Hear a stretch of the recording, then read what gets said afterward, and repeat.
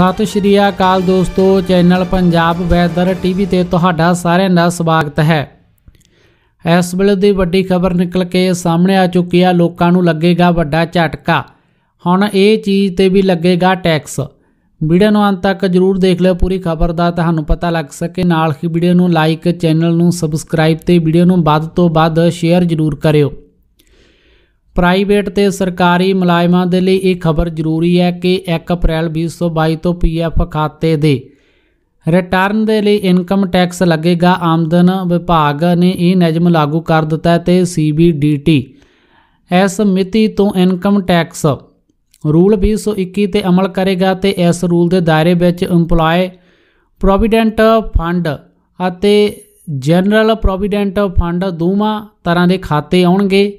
ਜ਼ਿਕਰਯੋਗ ਹੈ ਕਿ ਵਿੱਤ ਮੰਤਰੀ ਨਿਰਮਲਾ ਸੀਤਾਰਮਨ ਨੇ ਬਜਟ 2021 ਵਿੱਚ ਇੱਕ ਖਾਸ ਐਲਾਨ ਕੀਤਾ ਸੀ ਕਿ ਉਹਨਾਂ ਨੇ ਈਪੀਐਫ ਖਾਤੇ ਵਿੱਚ 2.5 ਲੱਖ ਰੁਪਏ ਤੱਕ ਟੈਕਸ ਫ੍ਰੀ ਯੋਗਦਾਨ ਦਾ ਕੈਂਪ ਲਗਾਇਆ ਸੀ ਜਾਨੀ ਕਿ ਇਸ ਤੋਂ ਉੱਪਰ ਯੋਗਦਾਨ ਦੀ ਵਿਆਜ ਆਮਦਨ ਤੇ ਟੈਕਸ ਲੱਗੇਗਾ ਤੇ ਉਥੇ ਸਰਕਾਰੀ ਮੁਲਾਜ਼ਮਾਂ ਦੇ ਮਾਮਲੇ ਵਿੱਚ ਜੀਪੀਐਫ ਵਿੱਚ ਟੈਕਸ ਫ੍ਰੀ ਯੋਗਦਾਨ ਦੀ ਸੀਮਾ 5 ਲੱਖ ਰੁਪਏ ਸਾਲਾਨਾ ਹੈ।